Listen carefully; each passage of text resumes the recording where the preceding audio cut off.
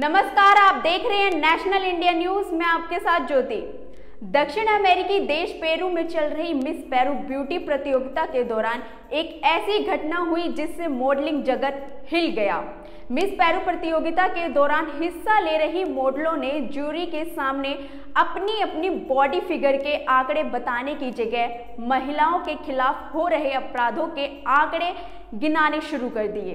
ये अचानक तब किया गया जब टीवी शो पर लाइव जा रहा था।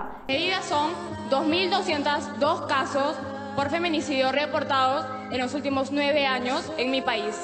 Mis medidas son 82 feminicidios y 156 tentativas en lo que va del año. Son el 81% de agresores a niñas menores de 5 años son cercanos a la familia. इस प्रतियोगिता में इन मॉडल की इस प्रतिक्रिया पर आयोजकों और मौजूद दर्शक पहले तो शौक में आए, फिर लगातार सीटियाँ बजाने लगे। इसके बाद इस प्रतियोगिता के आयोजकों ने भी स्क्रीन पर ऐसी खबरें और दिखाई जिसमें महिलाओं के प्रति अपराध की बढ़ती तादाद नज़र आ रही थी।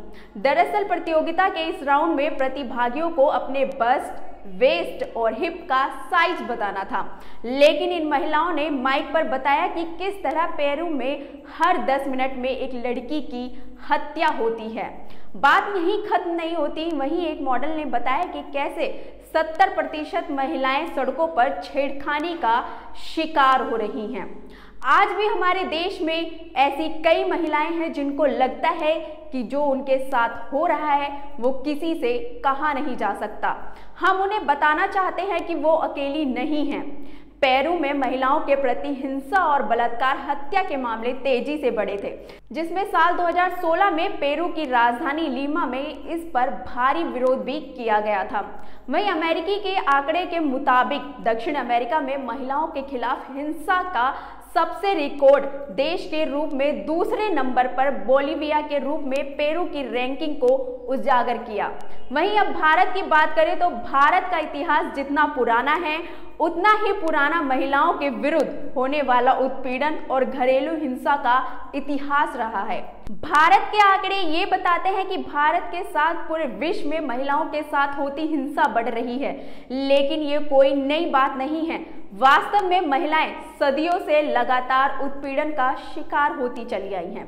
हिंसा के तहत महिलाओं को शोषण रोकने के लिए केंद्र सरकार ने कानून तो बनाया, लेकिन कानून बनाने के बाद पाँच सालों में भी कोई सुधार तो हुआ नहीं, उल्टा बढ़ और गया। बहरहाल, एक बात सोचने वाली ये भी है कि हमारे देश में लोग महिलाओं के साथ हो रहे शोषण पर बोलते हैं बड़े बड़े जुमले देते हैं, लेकिन करते कुछ नहीं।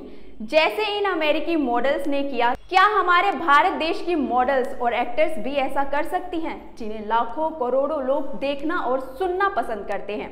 क्या वो भी ऐसा कर देश की महिलाओं को जागरूक कर सकती हैं? सरकार कानून बनाकर भी कुछ नहीं कर पाई, शायद हमारे देश की मॉडल्स और एक्टर्स के करने से कुछ हो जाए।